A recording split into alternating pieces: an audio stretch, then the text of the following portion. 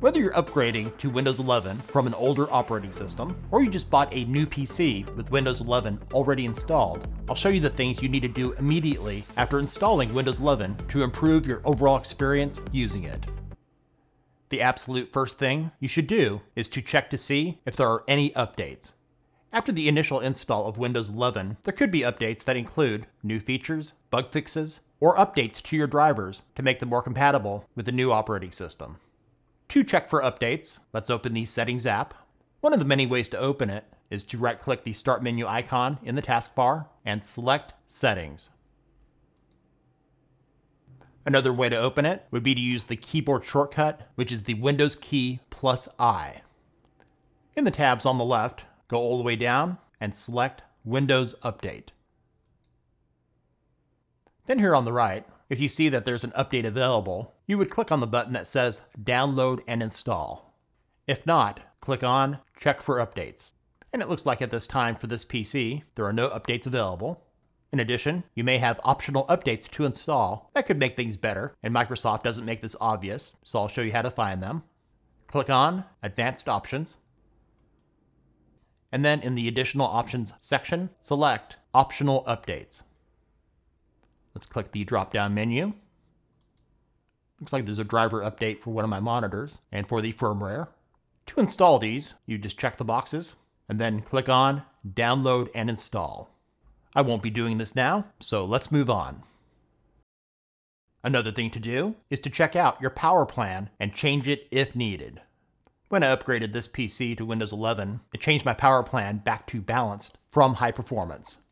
To check your power plan, go to Search in the taskbar and type Control Panel. Select it. At this time, the control panel is still more detailed than using the Settings app to choose a power plan. So in Control Panel, select Large Icons here in the upper right. Then click on Power Options. Currently it's set to Balanced. Depending on the manufacturer of your PC, you might have different choices here. To see all the plans available, select Show Additional Plans. If you play video games or edit videos, high performance would be better for you. And if you have a higher end PC, you might want to go with Ultimate Performance. If you're just using your computer to browse the internet or anything else that doesn't require a lot of power, the Power Saver option just might be the best power plan for you.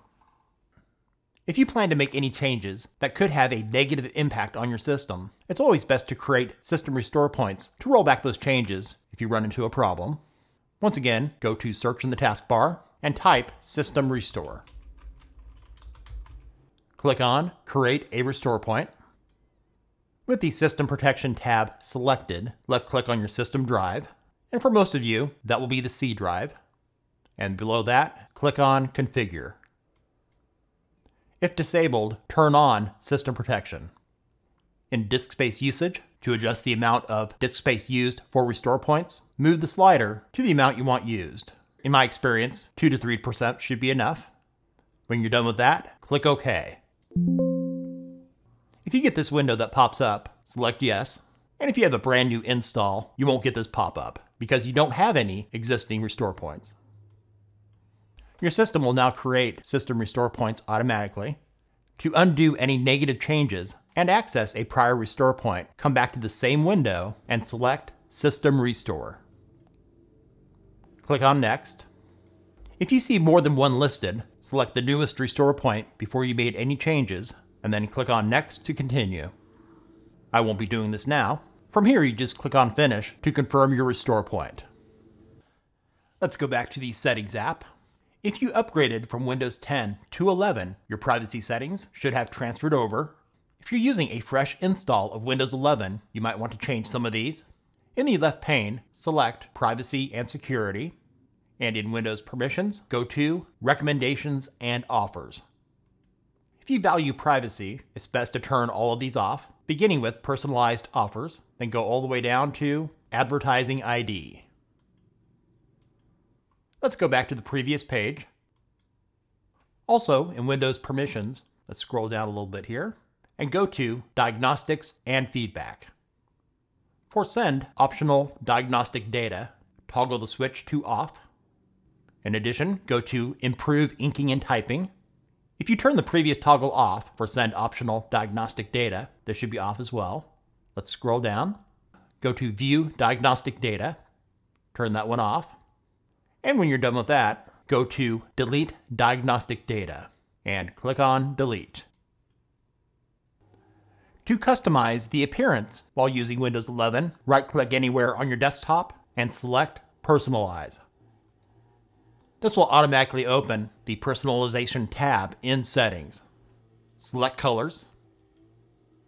If you don't like the default light mode of your folders and apps, in choose your mode, click the drop down arrow and select dark.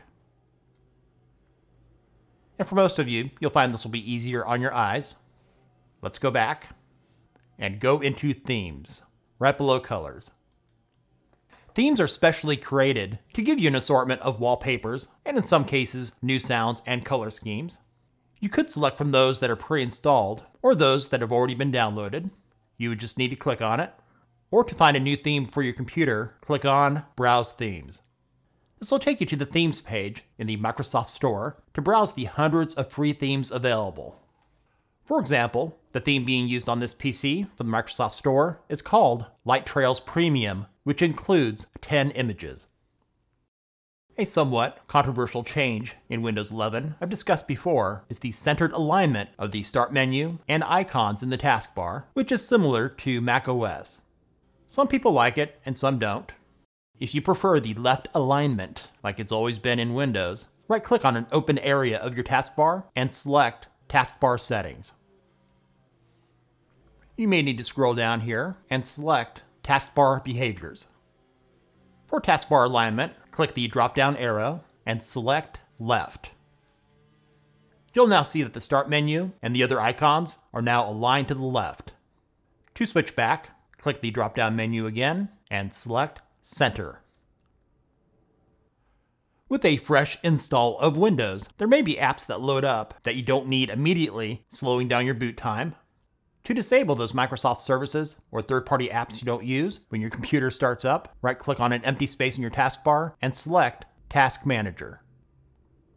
In the left pane, select Startup Apps.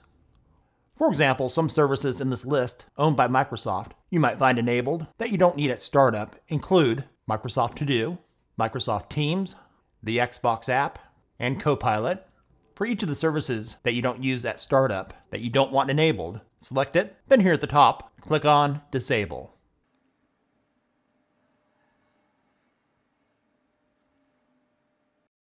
With any new install of Windows, you'll find icons for apps taking up space in your taskbar that you may not want. To remove it, right-click on it and select Unpin from Taskbar.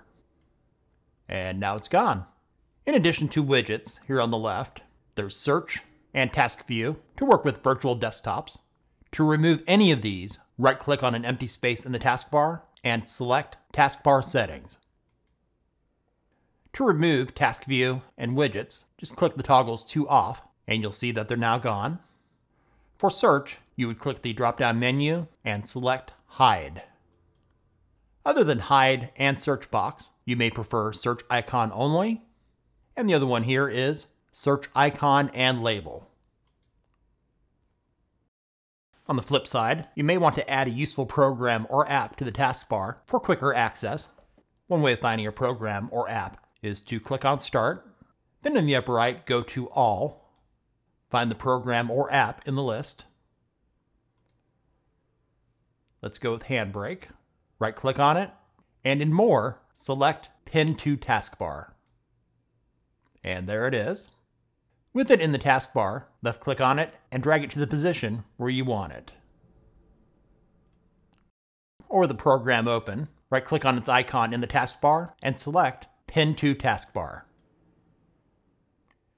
If you want to make it more difficult for people to have access to your PC, you may want to change your sign-in options. To do this in the Settings app, go to Accounts in the left pane. I'd scroll down on this page past the personal payment method stuff in Account Settings, select Sign In Options. When you're going through the process of installing Windows 11, you may have already set up a PIN or a password. Here you can change your PIN or password if you want. You also have additional sign-in options to choose from, including facial and fingerprint recognition. You could sign in with a physical security key, or you could use a picture as your password. Choose the sign-in option you want and follow the instructions. When you upgrade from Windows 10 to 11, the old files from Windows 10 that are no longer needed are still on your drive, taking up space just in case you want to roll back to Windows 10. If you're happy with Windows 11, to delete those old files, open the Settings app. With System selected on the left, here on the right, go to Storage. In Storage Management, select Cleanup Recommendations. And if it's not already opened, click Temporary Files. What you're looking for here is called Previous Windows Installation. I've already deleted it, so it's no longer here. Click See Advanced Options. On other machines, I've also seen previous Windows installation here as well. If you have it here, click to check the box on the left, along with the other files you no longer need, and when you're done with that, here at the top, click Remove Files and wait for it to finish. A new feature that launched with Windows 11 is the Widgets panel. To open it, hover your cursor over the widgets icon located on the left side of the taskbar. Here you can view local weather, sports, stocks, and all sorts of other stuff, including a newsfeed from MSN. Clicking on the three dot menu icon on the right side of the widget lets you hide, customize, and pin the widget. And if you want to add more widgets, just simply click on the plus here at the top. There's widgets here for Copilot, PC Manager, Phone Link, Spotify, and many others. Thanks for watching. If this video was useful for you, give it a thumbs up and share it with others. What are the first things you do after installing Windows? Let us know about those in the comments. And if you're new to our channel, subscribe and hit the bell to stay up to date with the latest with Windows 11 and other stuff here on Pop Gumbo.